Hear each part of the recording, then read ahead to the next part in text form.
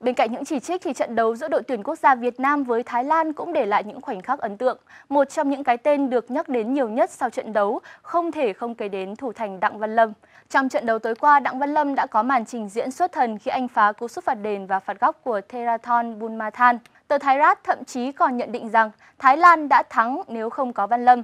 Sau trận đấu, nhiều dân mạng đồng tình rằng Đặng Văn Lâm là một trong những cái tên chơi nổi bật trong trận đối đầu đội bóng xứ Chùa Vàng. Loạt ảnh chế lấy cảm hứng từ chàng thủ thành tài năng này đã cho thấy sự yêu mến và cảm kích của người hâm mộ bóng đá Việt dành cho anh sau trận đấu tối ngày 19 tháng 11 vừa qua. Bên cạnh đó, pha cản bóng của Văn Hậu ở phút thứ 82 của trận đấu cũng được cộng đồng mạng công nhận là một trong những khoảnh khắc ấn tượng nhất của trận đấu. tập vấp Verbal Primeur của Hà Lan còn ví Văn Hậu với John Terry sau pha cản phá này.